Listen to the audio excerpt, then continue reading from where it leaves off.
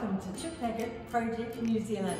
I'm Terrena Griffiths, I'm your National Coordinator and I'm coming to you from the Hall of St Andrews on the terrace in Wellington.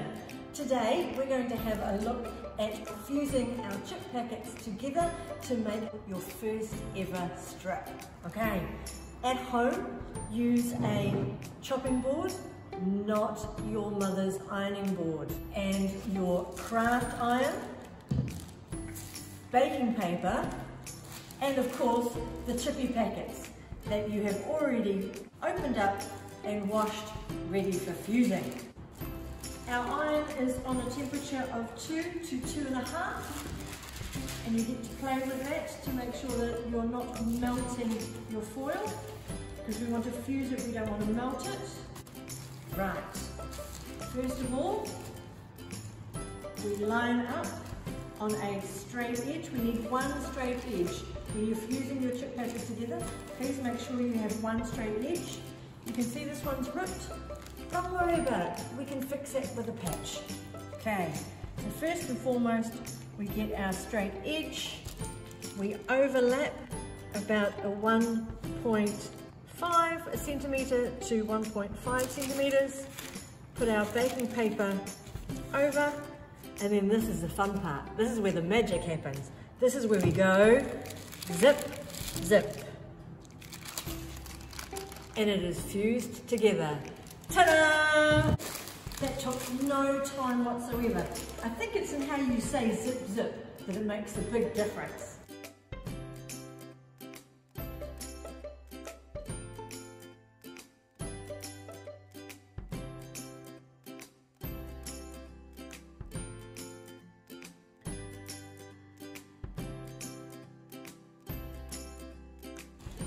Can get a whole strip done in under a minute.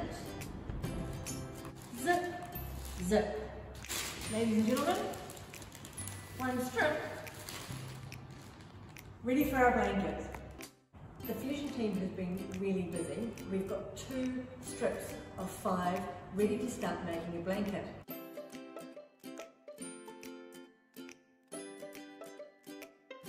You've got your straight edge and you do straight edge to straight edge.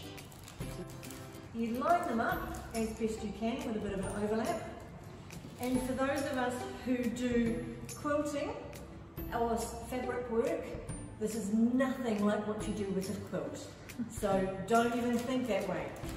You start in the middle and we work our way out. And again, we're just fusing with a zip, zip and then we make our way down to the end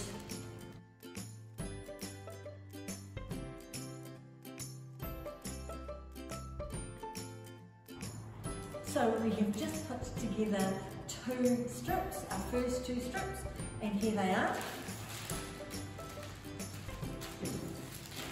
Nice and pretty. We just need to add another three to make our first survival sheet and then start adding the plastic.